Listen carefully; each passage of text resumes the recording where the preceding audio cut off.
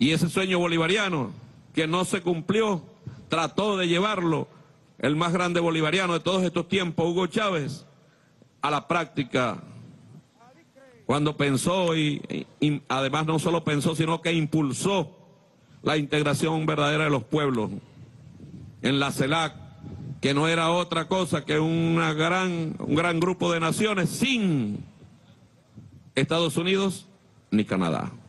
Parecidos todos nosotros somos. Parecidos, hasta en lo físico somos. Tampoco lo entendieron, le faltó nobleza a algunos, inclusive algunos que se llamaron amigos. Le faltó nobleza y grandeza para entender que Chávez no quería ser el rey de esta región, sino que estaba abogando por una patria grande, libre, soberana y que pudiera plantársele a cualquier amenaza del mundo en los mismos ámbitos de qué, de la economía, poderío militar, lo que fuese, cualquier amenaza pudiera ser repelida inmediatamente. Nobleza y grandeza le faltó a algunos. Por eso intentaron destruirla con la partida del comandante Hugo Chávez. Nos tocará a nosotros, ¿no? A los pueblos.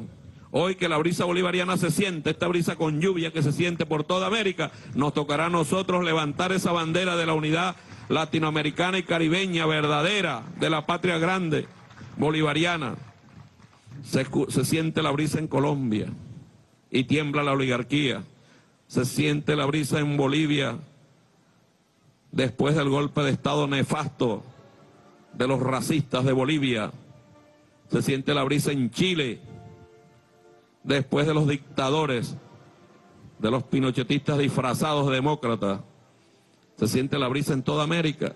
Y no es la brisa de bolivariana porque es Bolívar, es la brisa de los pueblos, es San Martín, es O'Higgins, es José Martí, es El Che, es Fidel, es Andino, es Alfaro. Y por supuesto es Hugo Chávez y es Bolívar, es Sucre, es Miranda, es Josefa Camejo, es Juana Ramírez la Avanzadora, es Luisa Cáceres de Arismendi, es Manuela Sáenz, es Guaycaipuro. Son los pueblos que se levantan. Ojalá los liderazgos entendieran, los liderazgos de las naciones entendieran, y digo los liderazgos quienes gobiernan, porque si no lo entienden los pueblos más temprano que tarde se lo van a hacer entender. Venezuela sola no puede.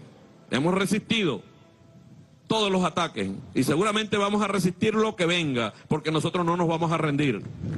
No hay forma que nosotros nos podamos rendir.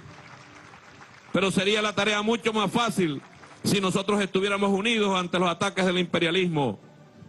Si no fuese Venezuela sola, si no fuese Bolivia sola, si no fuese Cuba sola, sino que fuésemos un solo bloque, una fuerza.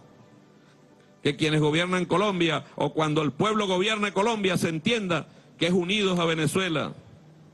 El sueño bolivariano de libertad para los pueblos, para dar respuesta inmediata nos toca a nosotros, no le podemos dejar eso a nuestros hijos ni a nuestros nietos. Sería irresponsable de nuestra parte.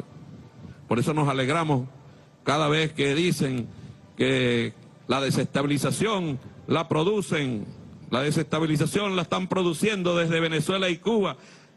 Y, y uno dice, no pueden, yo me alegro en lo personal. Y uno puede decir, no pueden ser tan torpes ellos. De creer que es desde Venezuela y Cuba y subestiman a sus propios pueblos evaluar el continente nos obliga a pasar por aquí, por Venezuela, primerito. Primerito, ¿cómo está el movimiento bolivariano en Venezuela? ¿Cómo está la unidad de las fuerzas bolivarianas hoy en Venezuela? Nosotros pudiéramos ser muy optimistas, pudiéramos ser inclusive inmodestos y decir que somos un bloque inexpugnable. Pudiéramos sentirnos así que no pueden contra nosotros, que no han podido ni podrán contra nosotros.